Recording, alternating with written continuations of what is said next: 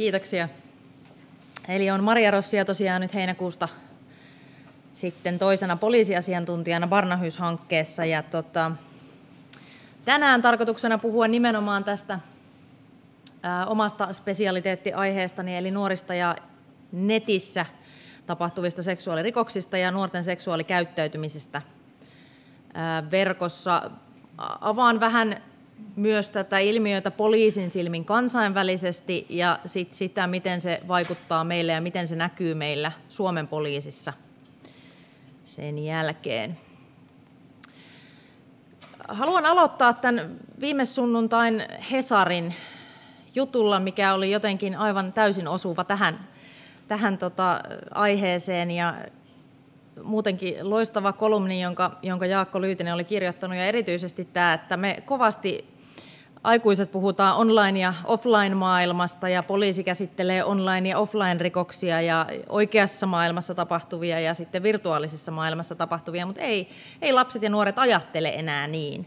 Me yritetään kovasti tätä ruutuaikaa tuoda esiin ja kontrolloida sitä, mutta ei tämä nykysukupolvi ei koe, että heillä on ruutuaikaa, heillä on vain aikaa, heillä on vain elämä heillä on vain seksuaalisuus, on se sitten verkossa tai on se sitten livenä.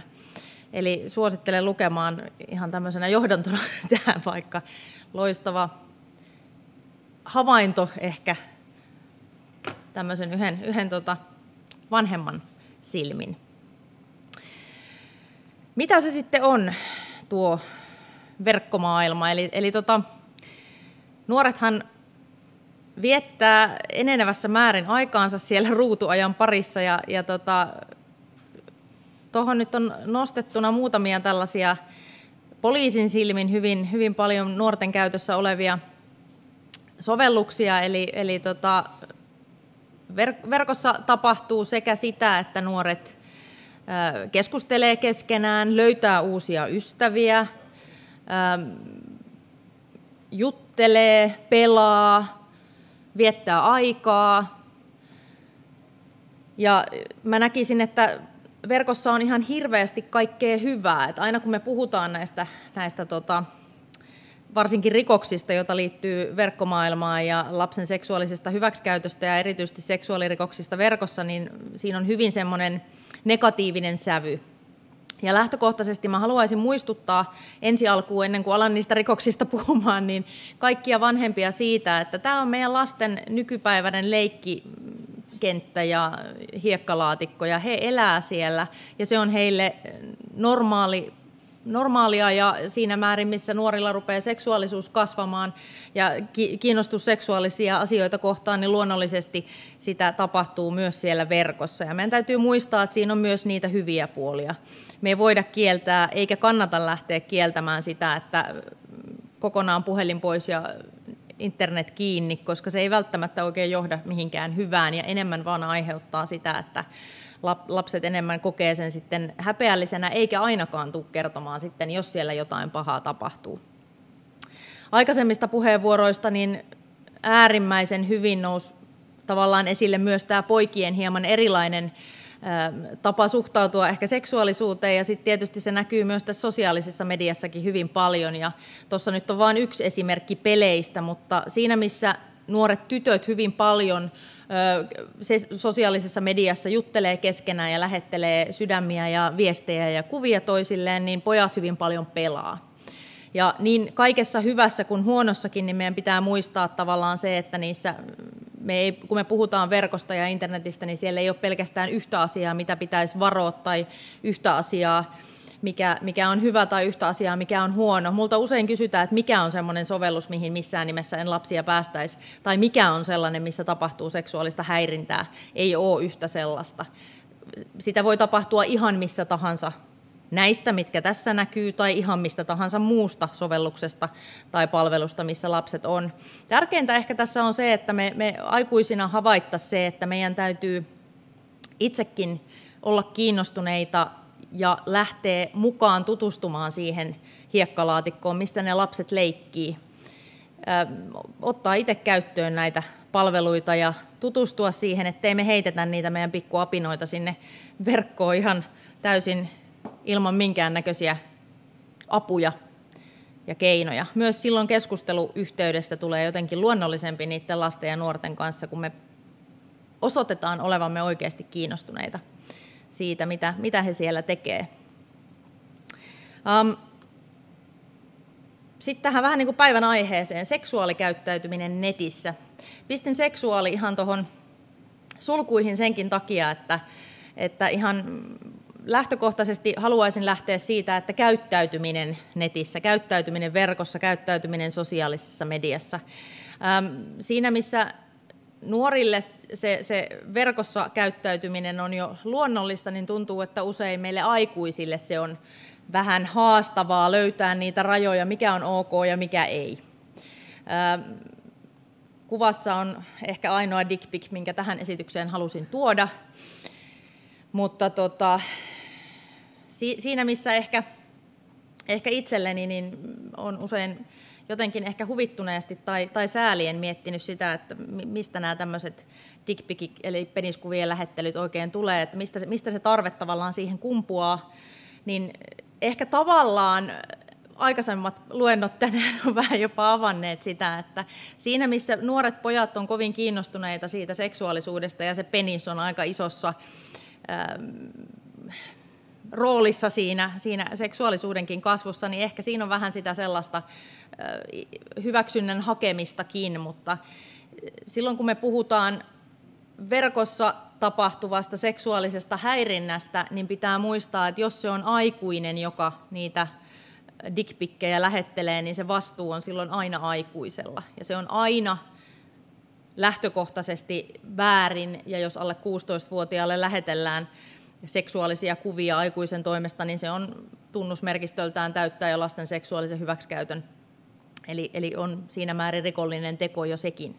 Sitten kun me palataan takaisin siihen, mitä nuoret tekee, niin en ehkä myöskään näe sitä järkevänä, että me lähdettäisiin kieltämään ja sanomaan, että älkää missään nimessä ikinä koskaan tehkö mitään seksuaalista tai keskustelko keskenään, seksa, sekstatko tai lähetelkö mitään kuvia, mutta ehkä nimenomaan sitä, että me opetettaisiin niille nuorille niitä hyviä tapoja ja järkeviä tapoja, käytäisiin läpi sitä, mikä on turvallista ja erityisesti niitä asioita, mitä voi tapahtua jälkikäteen. Me tiedetään, että nuoret ei ajattele asioita mitenkään hirveän pitkäkestoisesti, että miten sitten huomenna, mutta niitä nimenomaan niitä asioita pitäisi tuoda esille.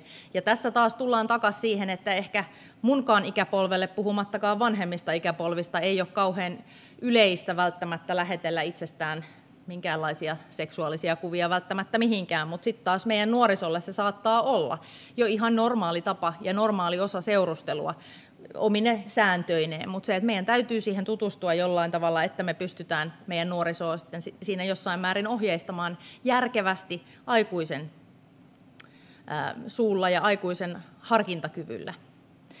Sitten niitä ikävämpiä puolia, grooming, houkuttelu, kaikki sellainen, missä aikuinen, selkeästi aikuinen pyrkii houkuttelemaan sitä lasta tekemään kaikenlaista. Tämä, tämä on ehkä semmoinen aihepiiri, mikä on tosi hankala ja haastava niin viranomaisille kuin sitten myös kaikille aikuisille, jotka toimii lasten kanssa, koska se ei välttämättä näy samalla lailla, kun me ollaan totuttu ajattelemaan, että se on se valkoinen pakettiauto, jonka sivuovesta tulee mies, jolla on pitkä takki, joka kaappaa lapset. Grooming voi olla hyvin sellaista näkymätöntä, se voi olla siinä määrin piiloutunutta, että se, se tekijä saattaa ensin esittää olevansa nuori tai lapsi ja ihan mukavakin kaveri. Se voi esiintyä oikeastaan minkälaisena tahansa ja lähtökohtaisesti hyvät, niin sanotusti hyvät gruumaajat on äärimmäisen taitavia siinä, että he saa sen lapsen luottamaan itseensä ja lapsi saattaa todella kuvitella seurustelevansa tai, tai saavansa jotain sellaista, mitä hän kaipaa siltä toiselta osapuolelta. Ähm, kolmas asia, minkä haluan tässä ottaa selkeästi esille, on, on tämä itse tuotettu kuvamateriaali. Jo vuosi sitten australialainen kollega sanoi, että uudesta kuvamateriaalista, seksuaalisesta kuvamateriaalista, mitä liittyy verkossa, niin noin 60 prosenttia on itse tuotettua. Nyt korona-aikaan ne luvut on ollut jo 70 prosenttia, eli kertoo siitä, että kun meillä on lähes kaikilla lapsilla ja nuorilla on se jonkunnäköinen kännykkä tai, tai webbikamera, niin sitä kuvamateriaalia otetaan, sitä lähetetään pyynnöstä, tai se lähtee, sitä lähetetään ensin ihan hyvässä mielessä, mutta sitten se lähtee kiertämään laittomasti jonnekin. Ja voidaan vaan kuvitella itse jokainen omalle kohdalle, että jos on lähettänyt sellaisen seksuaalisen kuvan jonnekin, niin miltä tuntuu, kun se sitten yhtäkkiä tuleekin työpaikan palaverissa tai naapurifirmasta vastaan. Eli siis lapsille on ihan hirveä häpeä siinä sen muutenkin vähän hauraan seksuaalisuuden kesken se, että se oma kuva tai, tai seksuaalinen tilanne niin jossain, jossain tulee vastaan. Eli tämä on tosi iso ongelma tällä hetkellä.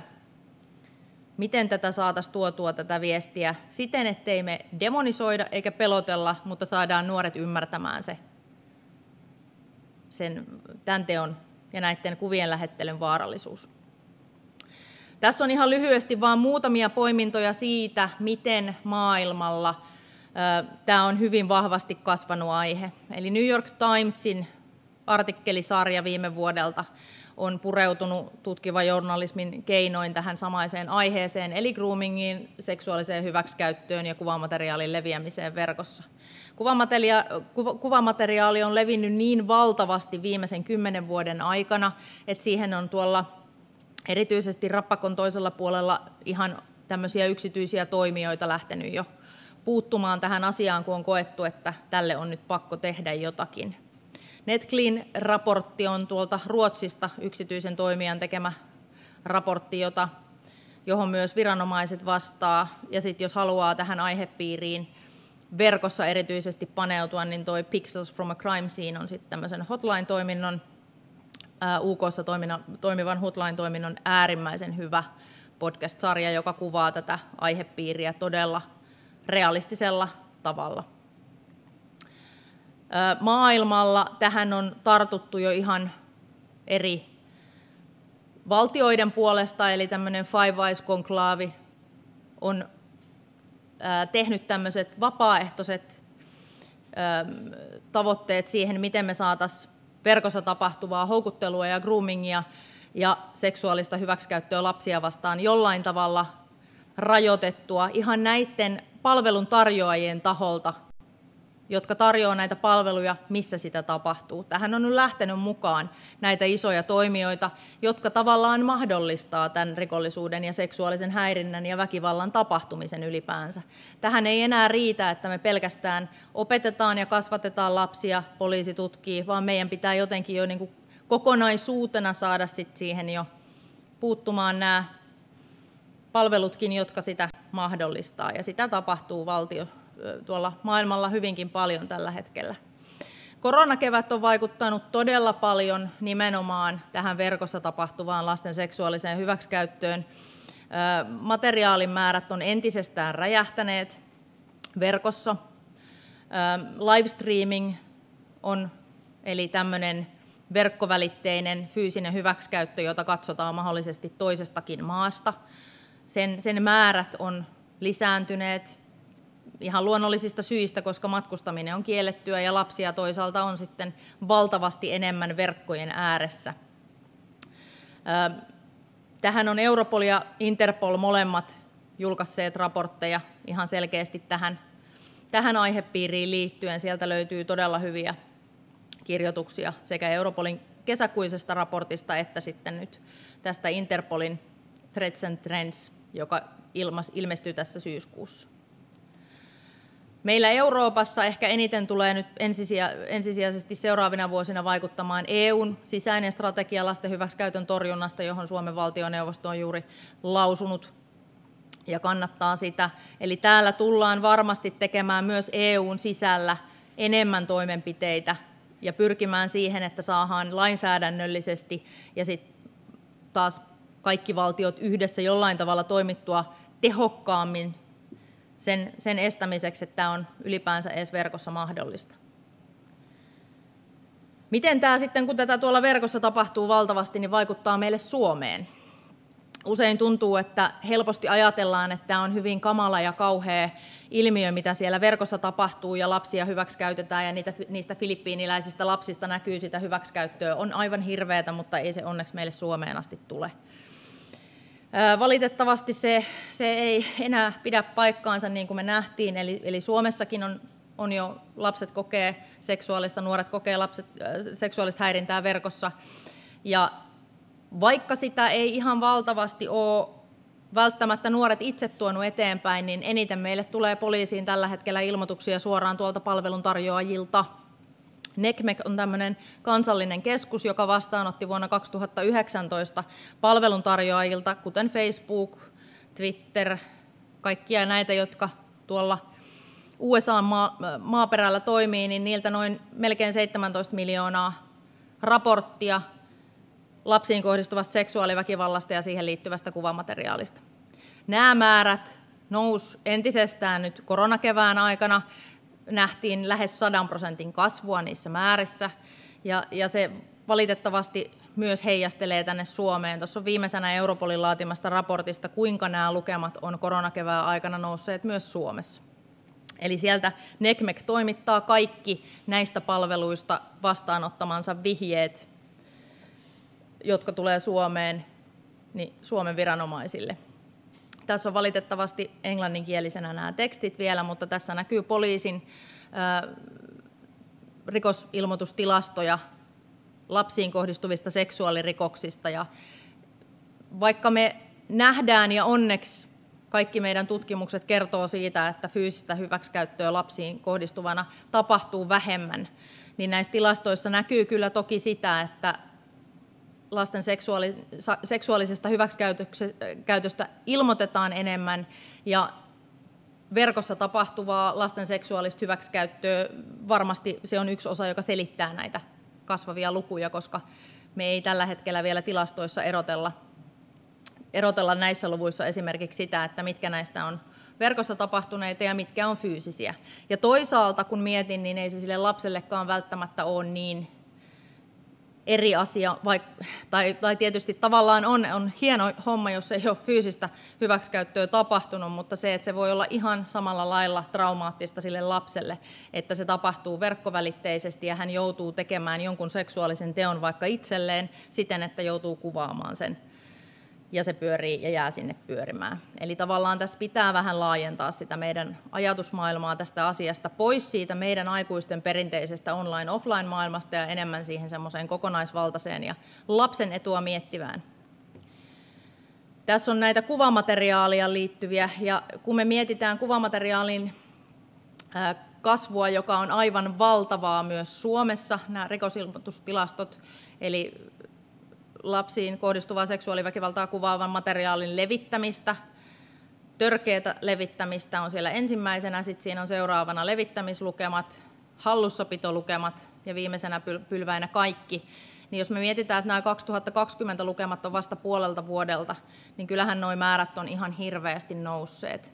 Ja kun nämä kuvat ei ole pelkästään kuvia, vaan ne on kuvia niistä lapsiin kohdistuneista seksuaalirikoksista ja ne ihmiset, jotka niitä hallussa pitää tallentaa ja levittää, niin on potentiaalisia uhkia meidän lapsille, niin kyllä nämä tietysti vähän heijastelee ikävää tämän verkossa tapahtuvan rikollisuuden kasvua. Mutta jotten päätä ihan tämmöiseen synkkään maailmankuvaan, niin, niin haluan tuoda esille sen, että vaikka se verkko on sellainen paikka, missä meidän täytyy todeta, että enää me ei voida laittaa päätä piiloon, vaan meidän täytyy hyväksyä se tosiasia, että siellä tapahtuu paljon myös sellaista ikävää ja pahaa, niin peliä ei silti ole menetetty. Paljon tapahtuu maailmalla hyviä asioita isojen toimijoiden puolesta. Paljon tässä taistelussa on mukana tosiaan sekä viranomaisten lisäksi myös näitä yksittäisiä palveluntarjoajia ja yksittäisen sektorin toimijoita – ja kaikki lähtee kuitenkin siitä, että me opetetaan tosissaan niille meidän pienille lapsille ensi alkuun se netiketti, miten siellä verkossa toimitaan, mitä kannattaa tehdä, mikä on totta, mikä ei. Käydään sitä seksuaalikasvatusta myös siihen heidän maailmaansa liittyen. Eli käydään läpi sitä, että kannattaako pyllystä laittaa kuvia ja kannattaako sinne YouTubeen pistää videoita, missä tanssitaan suihkussa. Ja selittää niitä lapsen tasoisesti, että minkä takia ei. Ja luoda sellainen ilmapiiri lähtökohtaisesti meidän lasten ja nuorten kanssa, että he uskaltaa tulla kertomaan silloinkin, kun jotain ikävää on tapahtunut. Silloinkin, kun se kaikkein maailman häpeällisin asia on tapahtunut ja se oma kuva, mikä piti mennä sille ihanalle poikaystävälle tai ihanalle tyttöystävälle, on, on lähtenyt siellä verkossa kiertämään, niin siitäkin uskallettaisiin aloittaa se keskustelu oman vanhemman kanssa. Minä kiitän ja